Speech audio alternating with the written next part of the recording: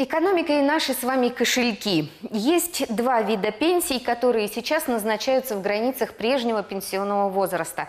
Женщинам с 55, мужчинам с 60 лет или даже раньше, если имеется право досрочного выхода на пенсию. Это пенсии по программе софинансирования и накопительные. Другая интригующая новость в том, что завтра они обе вырастут. Накопительные пенсии увеличатся с 1 августа на 9 с лишним процентов. Коэффициент повышения определен в соответствии с результатами инвестирования пенсионных накоплений за прошлый год, сообщает нам с вами Пенсионный фонд. В Хабаровском крае такую прибавку получат 918 человек. Обращаться за перерасчетом им никуда не нужно, ее сделают автоматически.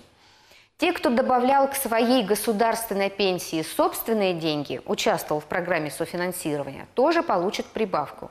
Их пенсии вырастут почти на 8%. Такую пенсию в Хабаровском крае сегодня получают 230 человек по данным регионального отделения пенсионного фонда.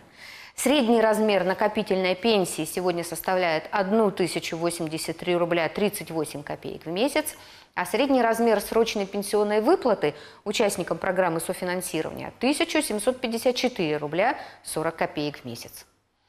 С 1 августа обязательных СНИПов в строительстве станет на треть меньше, спустя два месяца после слов президента страны о том, что нужно зачистить всякие СНИПы, хрипы и квазиучастников строительства – при этом количество применяемых нормативных документов остается прежним, но сокращается их содержание. В новой версии перечня содержится 4 ГОСТа и 74 свода правил.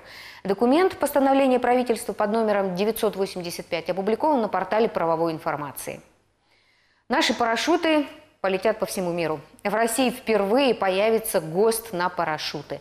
Национальный стандарт разработан в рамках программы развития парашютостроения – в стандарте установлены тех требования конструкции и испытаниям спортивных парашютных систем. Новый стандарт предназначен для организаций, которые разрабатывают и производят гражданские спортивные парашюты. По мнению Росстандарта, применение ГОСТа должно привести к повышению безопасности выполнения парашютных прыжков, а также к активному выходу российских парашютов на международный рынок. С ГОСТом станет легче согласовывать методы и технологии испытаний, применяемых в России, с методами и технологиями, которые применяются в других странах. Экономика всюду, следим и участвуем.